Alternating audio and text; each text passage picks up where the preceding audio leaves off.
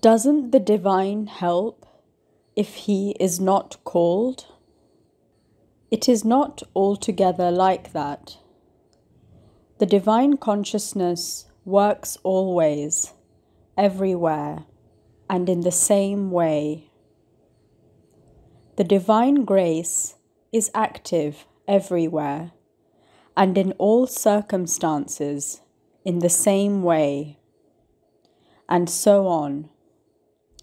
But according to your personal attitude, you create within yourself the conditions for receiving what is done or not receiving it. And trust, indeed, trust in the truth, trust in the grace, trust in the divine knowledge. This puts you in that state of receptivity in which you can receive these things.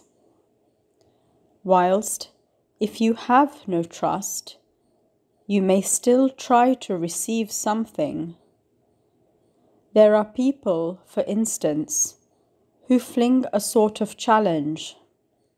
They throw a challenge at the divine and tell him, Here's the situation such as it is.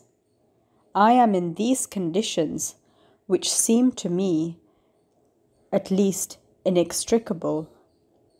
It is impossible to get out of them. But if the divine pulls me out of the difficulty, I shall put my trust in him.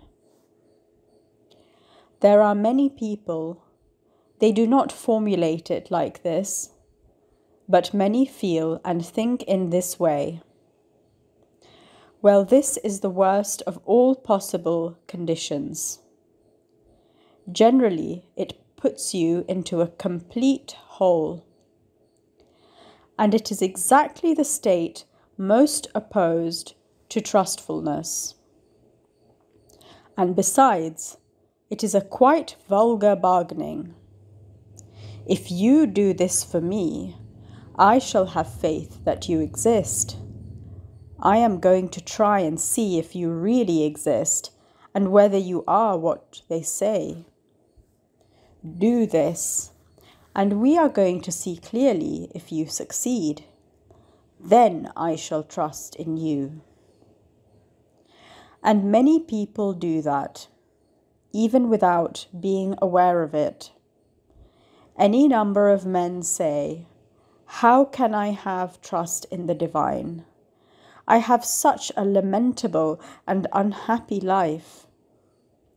That is to say, they limit the divine consciousness to their little personal needs.